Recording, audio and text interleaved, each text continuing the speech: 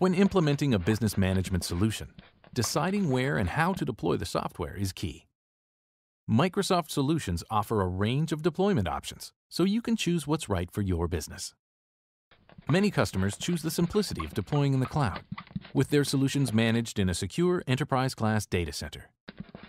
Microsoft Dynamics partners offer cloud hosting in their own data centers or on Microsoft's Windows Azure platform. Other customers opt for traditional deployment, using dedicated servers on-premises or managed remotely by a partner.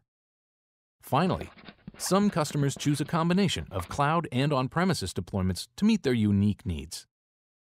Your ideal deployment depends on your current and future business needs and your organization's IT expertise. Talk to your Microsoft Dynamics partner about what's best for you. With business solutions from Microsoft, the choice is yours.